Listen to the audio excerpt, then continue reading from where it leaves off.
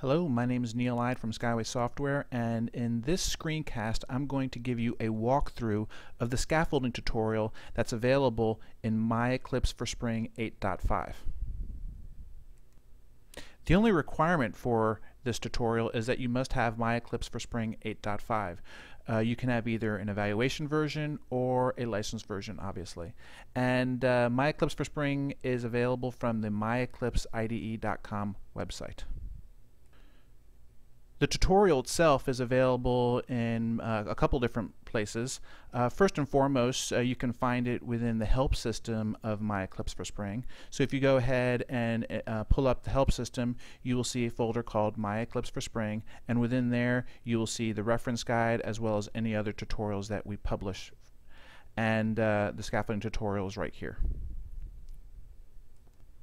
The tutorial's also available within the educational materials that are available on the myeclipseide.com website.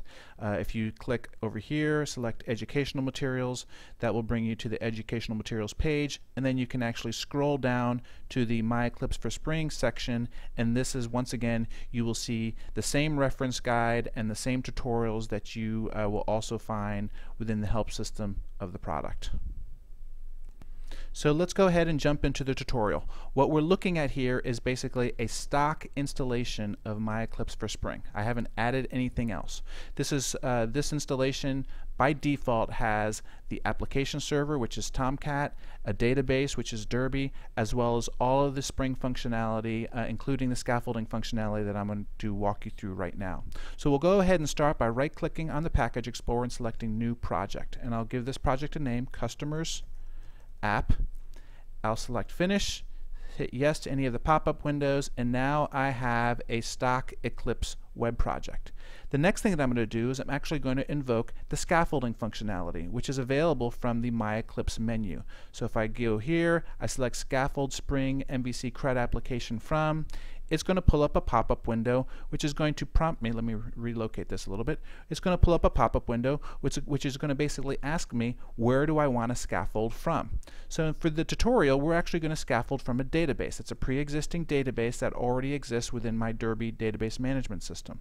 So I'm going to go ahead and select on database schema and the wizard will walk me through the rest of the steps and ask me any information that it needs in order to produce a fully prepared, ready to run Spring MVC application. So the first thing it needs to know is where, which database uh, connection should it be using. Um, in this case, I only have one. This is the default database connection that comes with MyEclipse for Spring, so we'll go ahead and use that one.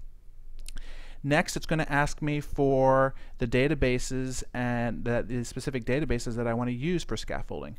So I'm going to go ahead and use from the classic car schema. It's going to show me a list of all of the available tables in there. And I'm going to go ahead and select the customer table. I'm going to add it to my scaffolding panel here. And then I'm going to click Next.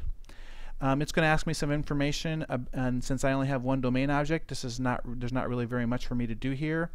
Um, and then it's going to actually ask me for uh, some uh, generation information. So it needs to know what layers of the application do I actually want to generate and what package name I want to use. So I'm going to go ahead and use org customers app and you'll notice that all of the other package names were automatically um, were automatically filled in for me.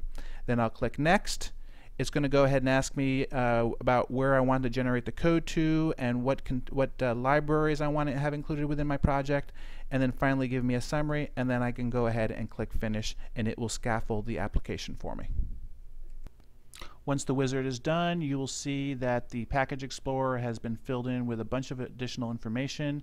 I have all of my libraries and all of my dependencies. I have a bunch of generated code based on the database tables that I selected, and I have all of my web content, including the web pages and Spring configurations and everything necessary in order to be able to run this application.